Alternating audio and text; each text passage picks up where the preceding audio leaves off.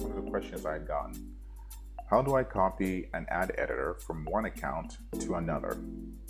This was a very good question. So I'm going to go over it here and actually go through the process.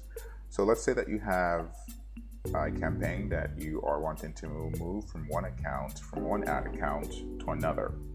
The way that we would do that is in Power Editor. So let's go into Power Editor, locate the campaign that you are wanting to move. So here I have a test campaign, ClickFunnels. I select it. Once I select it, I'm going to locate this particular icon here, this button, Export Import. I'm going to click it and I'll export selected. I'll name it something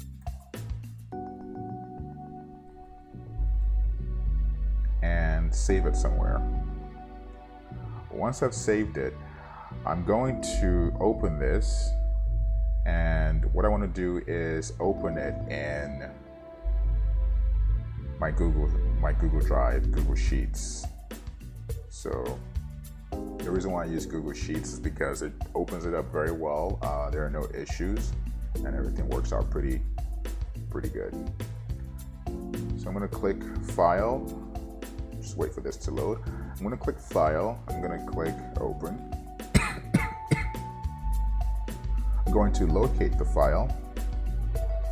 The spreadsheet I just uh, exported, which is this one, and I click Open. And Google will open this up very nicely, just like uh, an Excel spreadsheet. And here we are. So once we have this open, I'm going to clear out three columns. The first column is the campaign ID. So I just select it, I click delete. Now I'm clearing out the values, but I'm leaving the heading as they are. So the first is the campaign ID. Um, the next is the ad set ID. So let's, uh, what I usually do is just uh, find it. So there it is, right here. And I just clear out the values.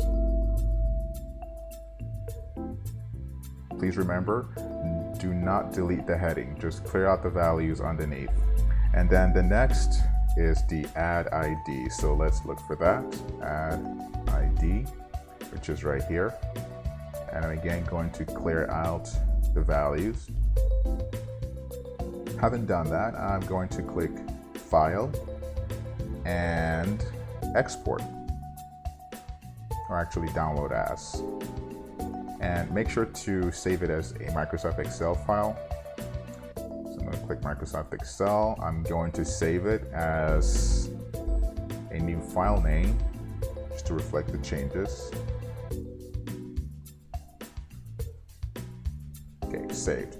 So now I'm going to go into the new ad account that I want to import this new campaign into.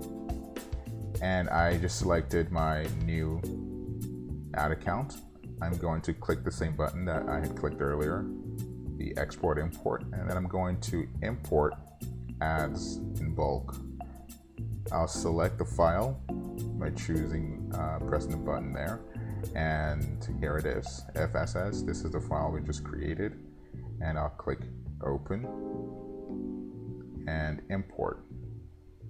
Facebook will go through and extract parsing through the file just to make sure everything is kosher and uh, everything is in good order here. You can see there are no warnings, there are no uh, blocks, so are good to go. And there we are.